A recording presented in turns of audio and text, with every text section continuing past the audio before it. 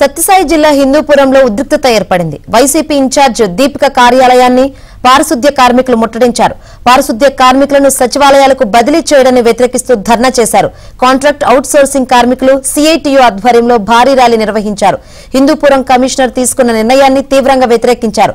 YCP కార్యాలయం ముందు బైఠాయించి municipal కమిషనర్కు వ్యతిరేకంగా నినాదాలు చేశారు. సచివాలయాలకు బదిలీ చేయడంతో మరిన్ని కష్టాలు ఎదురవుతాయని కార్మికులు ఆందోళన వ్యక్తం చేస్తున్నారు. మూడు నెలలుగా వేతనాలు ఇవ్వకుండా తీవ్ర ఇబ్బందులకు గురి చేస్తున్నారని మండిపడ్డారు. కమిషనర్ తీసుకున్న నిర్ణయాన్ని వెంటనే వెనక్కి తీసుకోవాలని లేదంటే ఆందోళన మరింత ఉధృతం చేస్తామని హెచ్చరించారు.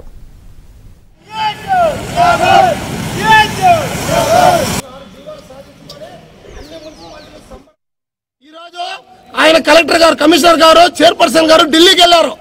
ఎందుకు వెళ్ళారు ఢిల్లీకి? హిందూపూర్కి బెస్ట్ అవార్డు వచ్చిందని.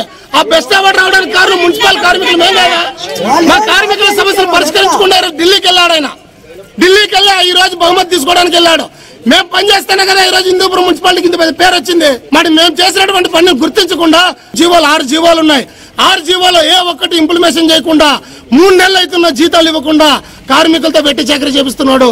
పనిముట్లు పరికరాలు ఇవ్వకుండా వాళ్ళతో పని చేపిస్తున్నాడు. ఇది సరైనది కాదు. ఇప్పటికైనా కమిషనర్ గారు మున్సిపల్ చైర్పర్సన్ స్పందించి మున్సిపల్ కార్మికులు నయమైనటువంటి సమస్యలు పరిష్కరించకపోతే ఈ రోజు ఏదైతే వైఎస్ఆర్సీపీ పార్టీ కార్యాలయం ముందా మున్సిపల్ కార్మికులు ధర్నాలో ఉన్నారో ఈ ధర్నాను ఇదే